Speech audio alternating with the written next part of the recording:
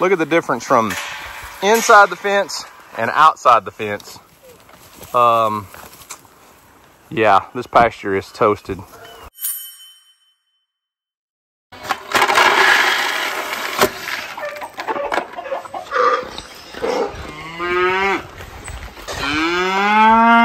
Back up off the gate, buddy. Back up, back up, back up.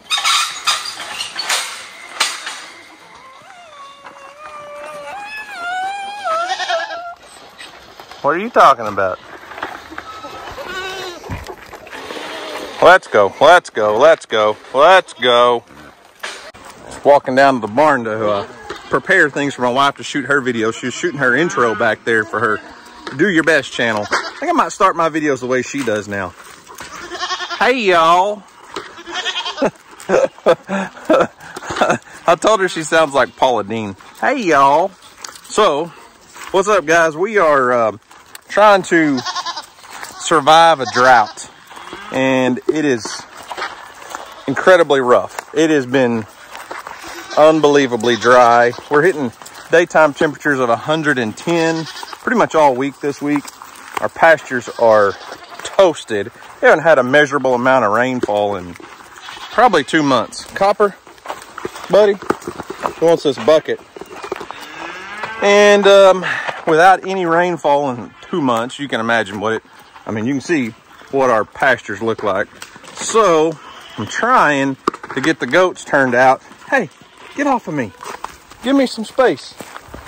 I'm trying in the evenings to turn the goats out for 30 or 45 minutes. The problem is, is they're so used to being fed, they just like instantly come back to the barn. Used to for years. I just turned my goats out and let them graze. I didn't even keep them pinned up at all during the summertime. And that's why right there, look at the pasture. So what I'm doing is getting a bucket of feed and trying to get them to follow me out there. Copper, don't knock me down. But uh, it doesn't always work. So the hard part is, uh, you know, turning the goats out, but not the rest of the animals. I really don't want Ralph and Pepper and the alpacas to get out. Get back, get back. I really don't want the rest of them to get out because I can feed them while the goats are out. Hey, goats, come on. Come on, goats. Come on, goats. Come on, goats, you bunch of beggars. Come on.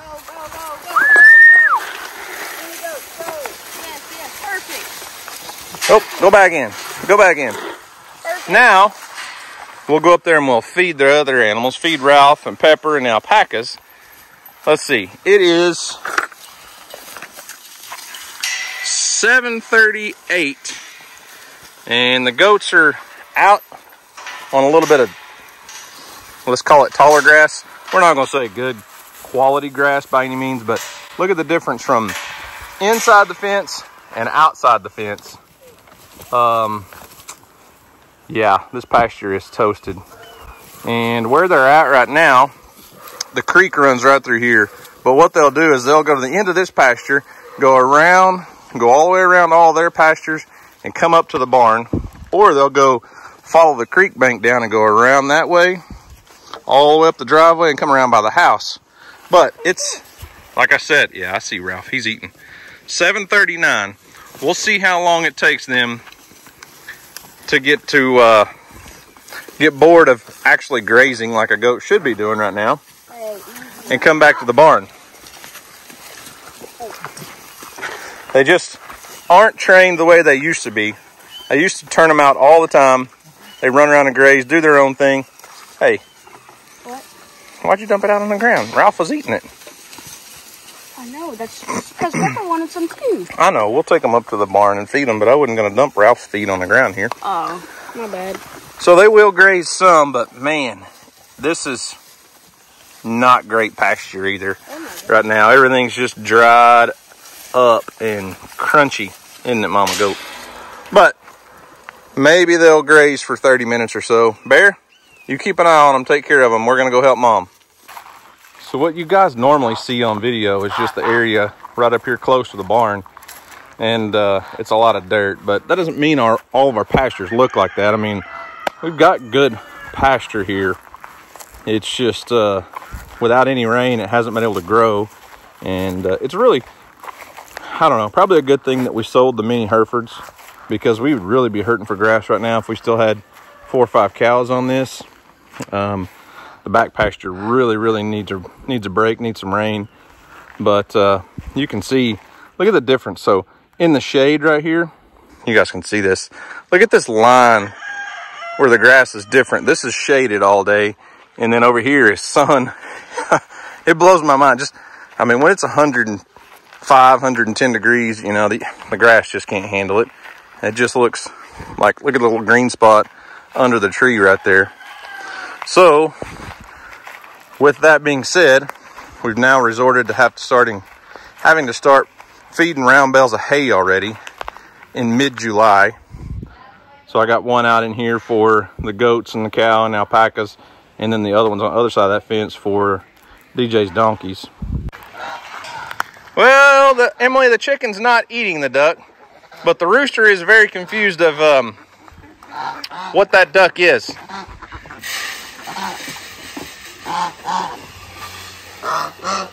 What's up, buddy? Houston's putting some feed out for you. You know that? Why don't you come eat?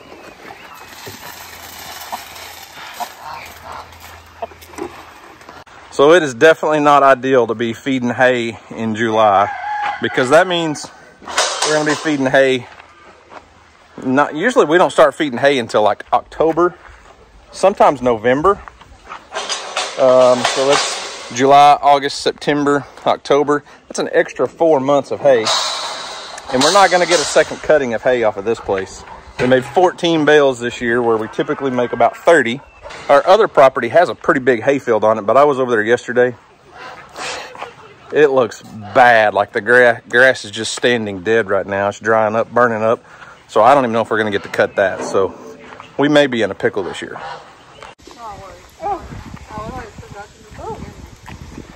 What is going on over here? Well, I think these are too big. Unless I have it on wrong. Brand new halters and they don't fit. Oh, You Poor Phoebe. fit. it was a it was a guess. But you were like, oh yeah, they'll definitely fit. Oh yeah, yeah for sure. Yeah. Eventually. Oh.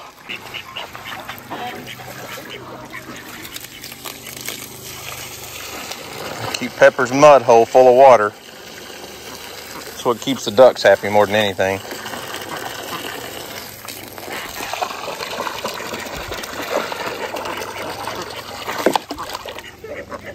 Talk to me, Goose.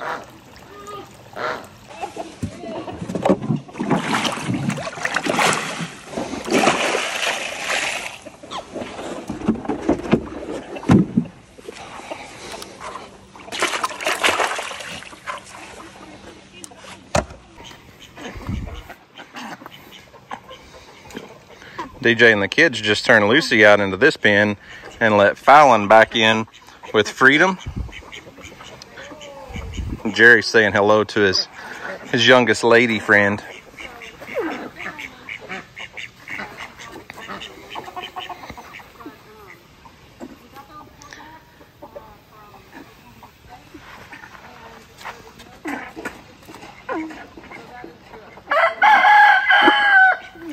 Gross!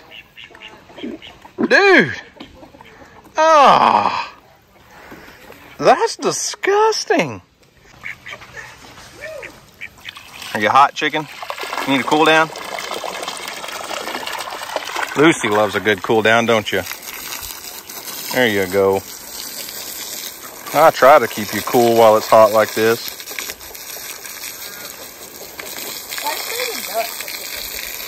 Well, they like it. Some of them like it. Some of the ducks like it. These little ones, not so much. Where's the big ducks at? That was creepy. Emily! Oh, you just did a little thing.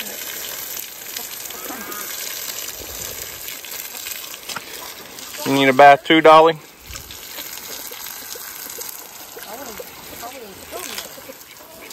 Hey, if you turn, there you go.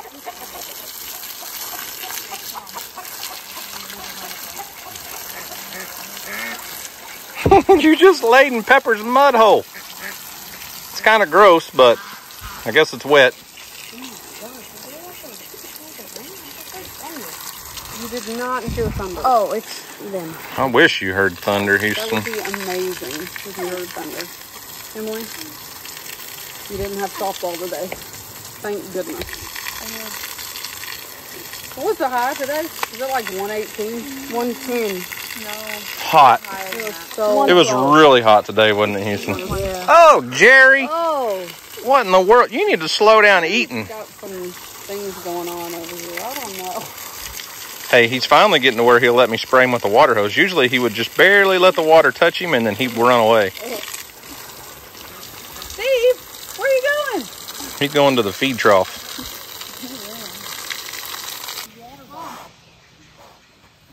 What's up, Pepper? Hmm? What's up, girlfriend? I don't have any treats. No, I'm watering right now.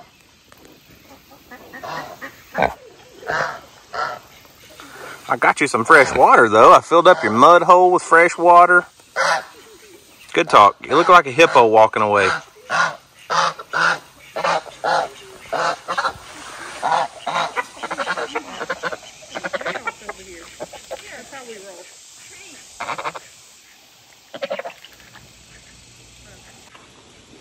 dumping out all these water troughs and look at this i did this the other day and about 9 billion of these big giant black ants came out. Look at them going everywhere. And when the chickens and ducks find them oh my goodness. What in the world? Come on, girl. Ellen, come on, girl. i don't quite think that's what she's made for. She's a little bit small still. Yeah here's what i'm talking about right here. Look at her Tell your friends you need to get rid of those black ants. Here, this one's full. Got to switch.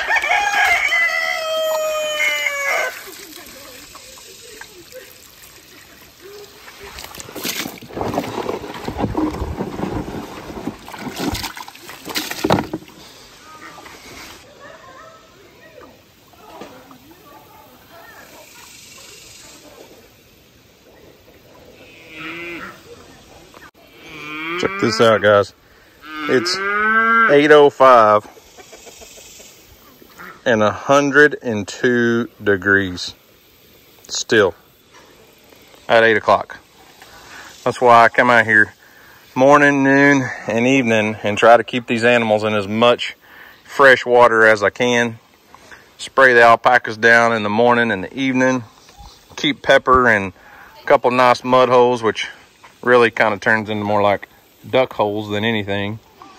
But I'm telling you, it's hot and these animals are feeling it. I know there's a lot of farms around the country that are in a lot worse shape than we are with grass and heat and everything, but we're fortunate enough that most of our pastures are have a lot of shade. So at least the animals can get in the shade and survive the heat, but man, I it's just rough on animals once it's hot. It's rough on me. It's rough on you too, isn't it? Yeah. You know, it's 8 o'clock. It's still 102 degrees. Jeez. Steve, you guys enjoy getting a break from the goats for about 30 minutes? Y'all can eat in peace for a little while. It's kind of nice, isn't it? Huh, Pepper? You like to eat by yourself. Them goats are bullies, aren't they? You look like you got a big old loogie on your head, but it's not. You guys see her little mohawk up there?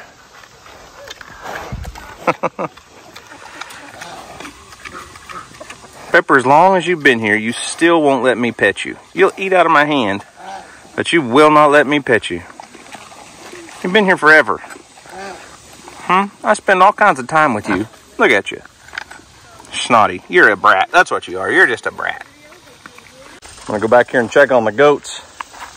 I'm telling you, for years, I never fed a bit of grain in the summertime but it's because I was able to just turn the goats out and let them graze. Then they come back up in the yard every night. So we always had goats sleeping in the yard, sleeping in the driveway, and uh, they could go off and graze this entire place. The cool thing about goats is they will never cross water. They will not get their feet wet unless they're forced to. So my creek is like a permanent barricade for goats. They'll never cross it. I mean, I in 10 or 12 years, I never had a goat walk across the creek. But I would have them go across fences onto my neighbors, and I really don't like that. That's not very neighborly, even though most of my neighbors had said they didn't care if the goats came over there.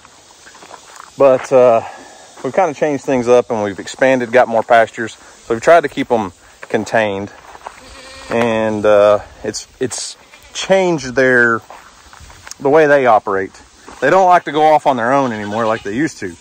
They have been out grazing for about 30 minutes, and uh, I'm kind of proud of them. They haven't gone anywhere, obviously. The gate's still right there, but they have been grazing until I walked over here and started talking. But uh, I'm gonna hang out with them for a little while, let them do their thing, and we'll let them back in here and then they can go eat some grain. But trying to get them some actual fresh browse because that kind of stuff over there is not what goats are intended to live on.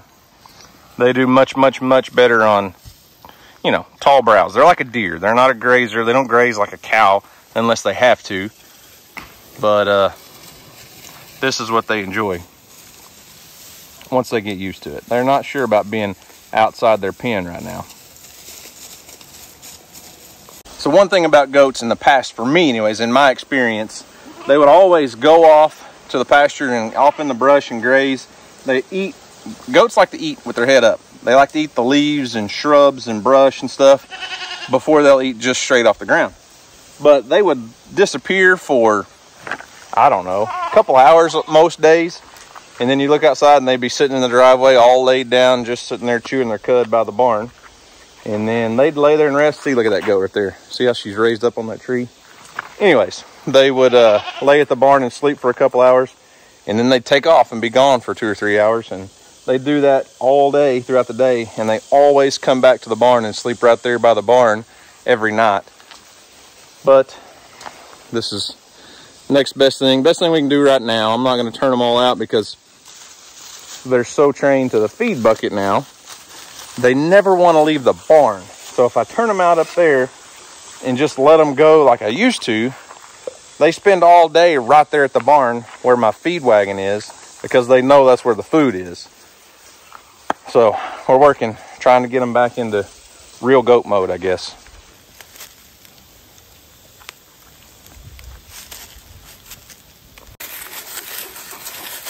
Bear, did you go cool off in the creek? You're all wet, buddy.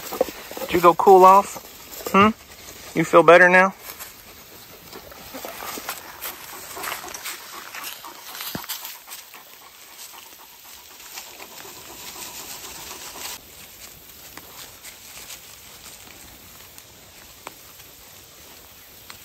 I know this is not the best option for letting the goats graze, but uh, they are getting their bellies full of good browse on the outside of the fence. It's a good break from, from eating grain a couple times a day and just old dried up hay. Um, when there's green grass on the ground, it's hard for an animal to, to eat hay because, well, they'd rather eat the good green stuff. It's just like us. We'd rather have the ice cream before the spinach and vegetables. But um, we're pretty blessed here. I, I'm fortunate enough that we're not going to have to, you know, sell off animals and all that stuff because of drought conditions and the lack of grass on our pastures.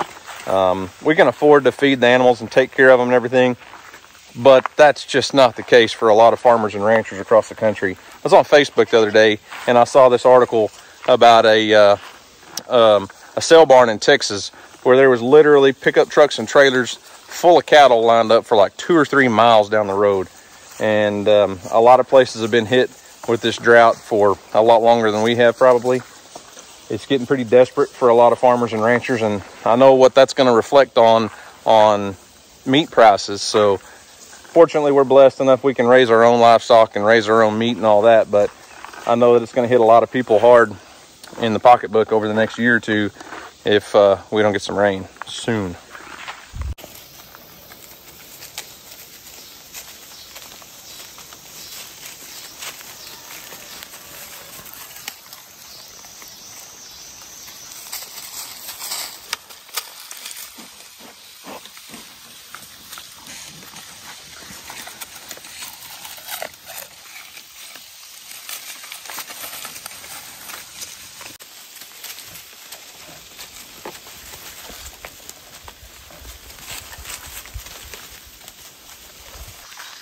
You guys about ready to come in?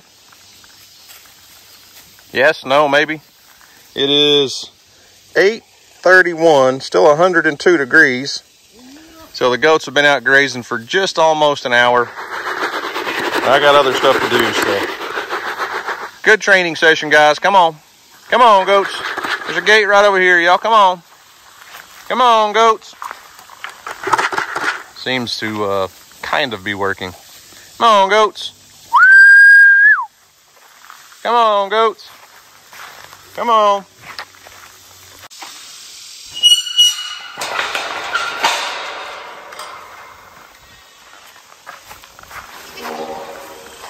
Come on, goats. Come on. Come on. Come on, goats. Let's go. In you go. In you go. In you go. All right, now I got to shut the gate behind you, Skip. Watch out. Hey, you're on the wrong side of the gate, bro. There we go.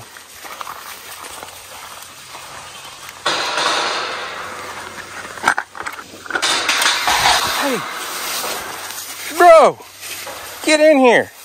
Copper, get in here. You're to lead the charge and everybody's going to take off again. Get in the gate.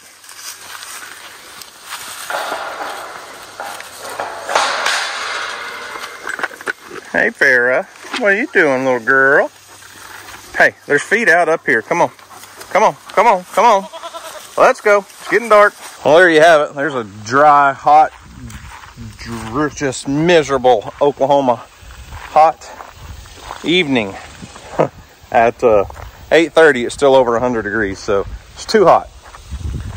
That's the story of July. And this year, over 100 degrees every day. Right now, we're hitting 105, 110. It is what it is. Nothing we can do about it but survive it. Unlike our grass, front yard is completely dead. So, anyways, guys, that's all I've got for today. Thanks for watching. I hope you enjoyed it. Y'all have a great day. And as always, we'll see you on the next video.